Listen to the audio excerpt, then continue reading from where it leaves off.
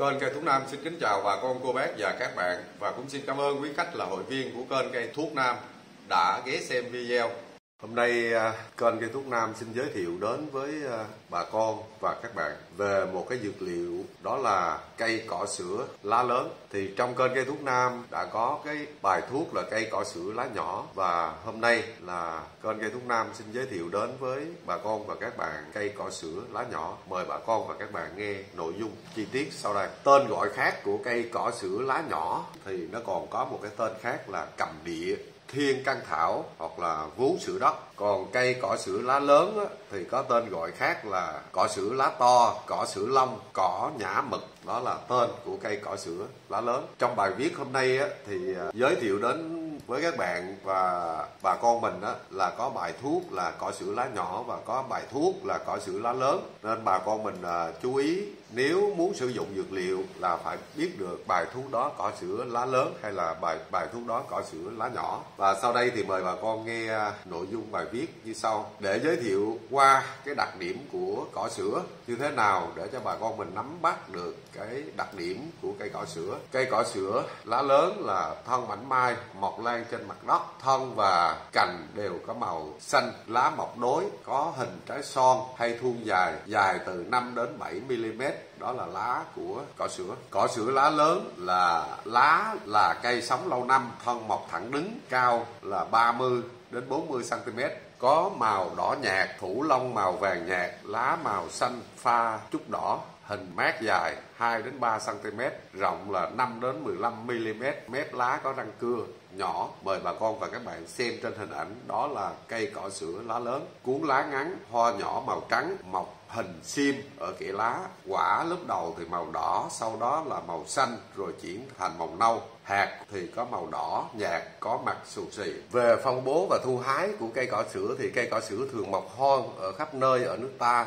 Trên đất có sỏi đá mọc ở đường tàu hỏa ngoài ra cũng có trên một số nước khác như ở Trung Quốc, Ấn Độ, Indonesia và Philippines. Cây được thu hái cả cây gốc rễ vào mùa hè rửa sạch và phơi khô để dành khi dùng có thể sao vàng cho thơm. Có nghĩa là cái thuốc này bà con thu hái về bà con phơi khô. Khi bà con sắc thuốc là bà con sao vàng về mặt thành phần ờ, hóa học ở trong cây cỏ sữa. Như sau, cây cỏ sữa lá nhỏ, toàn thân có chứa chất alkaloid, rễ có chất paraceron tirucalon trong cây còn chứa tinh dầu màu xanh có mùi đặc biệt. Cây cỏ sữa lá lớn có axit gallic và một chất nhựa. Toàn cây chứa taracero axit melicic alkaloid và tinh dầu. Theo kinh nghiệm của Viện Nghiên cứu Đông y, cây cỏ sữa lá nhỏ được dùng nhiều hơn cỏ sữa lá lớn. Tiếp theo đó là bài thuốc thứ hai, chữa lị ở thể nhẹ cây cỏ sữa lá nhỏ. Để chữa được cái bệnh này thì bà con sử dụng là 100 g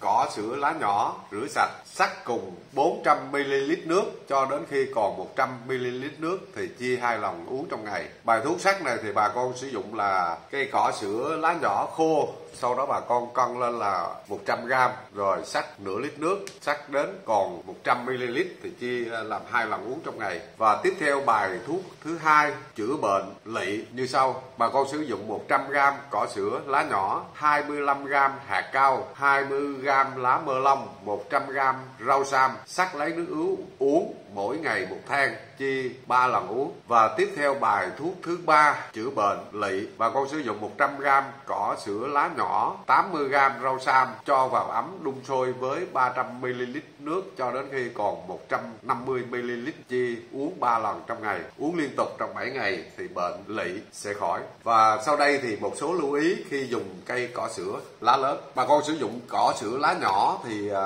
liều lượng thì bà con có thể gia giảm chút đỉnh được. Còn bà con khi bà con sử dụng cỏ sữa lá lớn thì tuyệt đối không nên sử dụng quá liều. Và người bệnh thì không nên tự ý áp dụng bài thuốc quá liều lượng chữa bệnh mà chưa hỏi ý kiến của thầy thuốc đó là nhắc nhở cho bà con khi sử dụng lá cây cỏ sữa lá lớn thì nên đúng liều lượng không nên dùng quá liều lượng còn cây cỏ sữa lá nhỏ thì bà con có thể quá liều lượng vài gram cũng được. Kênh cây thuốc nam xin cảm ơn bà con đã bỏ thời gian nghe qua bài thuốc này. Chúc cho bà con mình chọn ra một bài thuốc phù hợp để chữa bệnh và chúc cho bà con nhiều sức khỏe, an vui.